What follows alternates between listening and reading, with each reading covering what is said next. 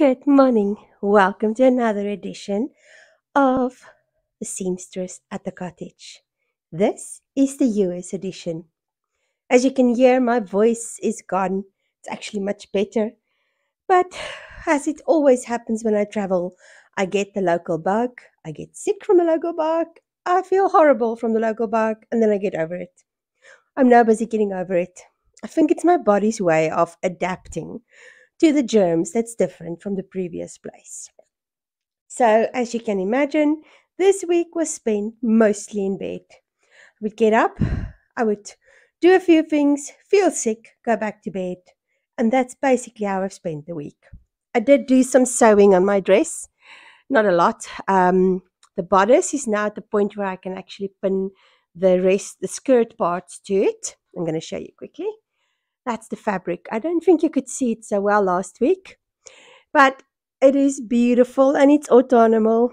And I think I'm going to miss autumn by the rate I'm going with this sewing project, but that's also okay. As you can see, I've made a new plan with my microphone. I've had a complaint that the sound is not great, so let's see if this helps. It's a way that it can actually be close to my mouth, and I hope it helps. The only thing I've really been working on is my jersey. I am now at the place where I am knitting the ribbing at the bottom. And then I only need to knit the sleeves and then it's done. So I actually looked at it and if you put these two together, they work so beautifully.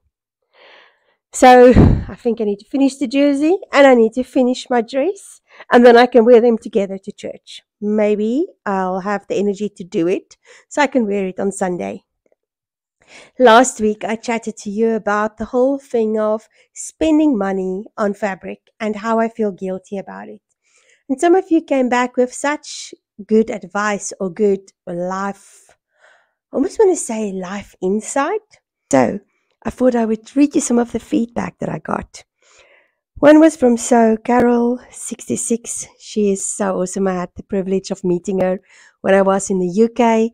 And I'm going to link everybody underneath in my description box because it's really worth going and checking them out. The people that have commented here and who have um, channels are just so lovely.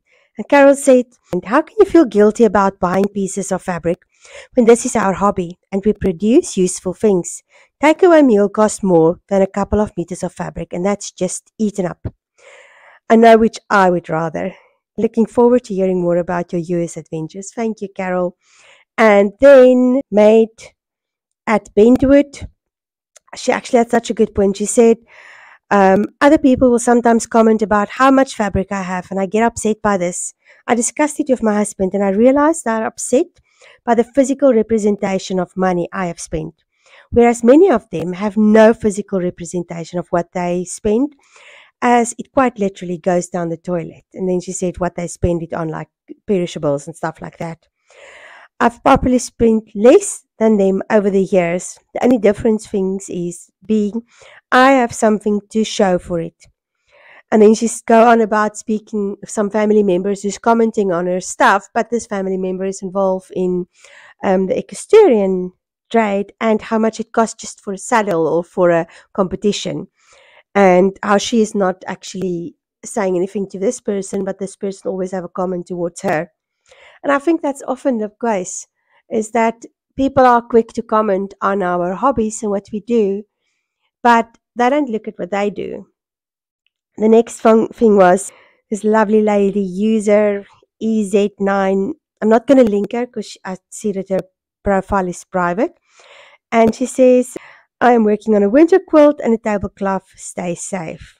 Then Bulldog Hustle first thing is you're going to have the light on all the time because I don't know if you remember, but living in South Africa, we often don't have power. And I would sometimes get up between 11 and 2 in the morning to do my sewing because I wouldn't have time any other time because I won't have power. So thank you for that, Bulldog Hustle. And another thing was from Michelle from my so-called handmade life.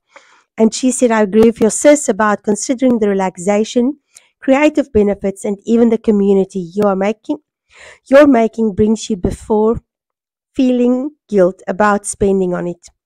You also repurpose a lot of things, and I've never seen your sewing or making as wasteful. I know that I had that focus on stash busting, but I never felt bad for buying fabric or materials to use. I just noticed there was a period where I no longer was buying to use soon, but impulse buying for other reasons. And I knew that needed to stop. And I thought that was such a good point is that I don't know about you, but I also go through times when I do impulse buying, and I figured out that I do that when I feel insecure or not not happy, or and I really have to reassess myself every time I go into that place. So when I start buying a lot of fabric, I, I actually go into that process of just assessing what is really going on and what's really sitting behind the whole thing. I thought maybe that's something we can delve into this week is have you ever considered the reasons that you do something? And it doesn't need always, you know, sometimes we, we have to, we, we feel like we have to put negative connotations to everything, but that's not necessary. So maybe it's a good thing why you do something, or maybe it's a negative thing why you do certain things. I've realized this week that I go into a place of complete silence, radio silence with everything and everybody when I don't feel good. And I was speaking to my sister today, uh, one of the many, I've got a few, and she said, I haven't heard from you for a while. And I realized that when I get, like, if I'm sick or when I get overwhelmed, I actually go into radio silence because I find it too hard and too overwhelming to talk.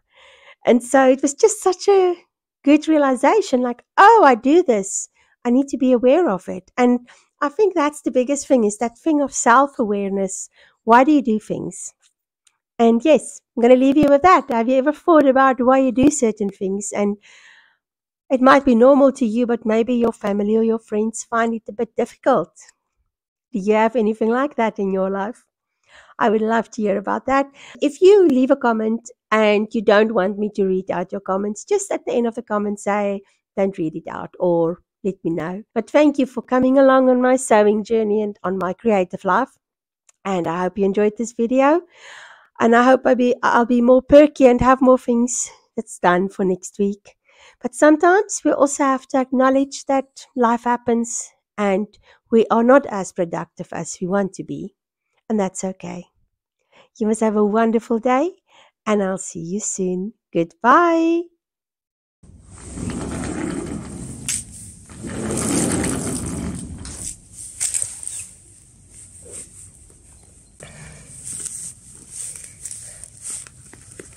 I'm learning about the weather in the US.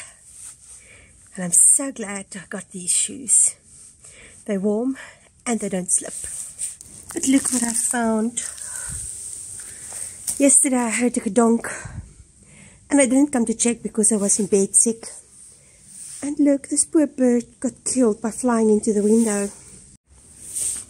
I'm still not 100%. But it's nice, warm today. I think it's like 7 degrees Celsius. So I thought I would go for a little walk just to get some fresh air because I find that always works well to open up your lungs. As long as the air is not too cold, which it isn't. You won't believe it. This driveway was clean four days ago, but the wind has been blowing like crazy. And these trees had leaves. Last week still. I have been in bed most of the last week, but I can't believe how much it's changed. So, I've done a little bit of a walk, but I'm tired. And I'm going to go home now. But I thought I'd show you a bit of the autumn turning into winter. That's the only sad part about autumn. So short. I wish autumn would not be so fleeting because it's literally one of my favorite seasons and I've never had a lot of it because where I lived in South Africa there was not a lot of autumn. So for now I'm enjoying this. It is just so beautiful.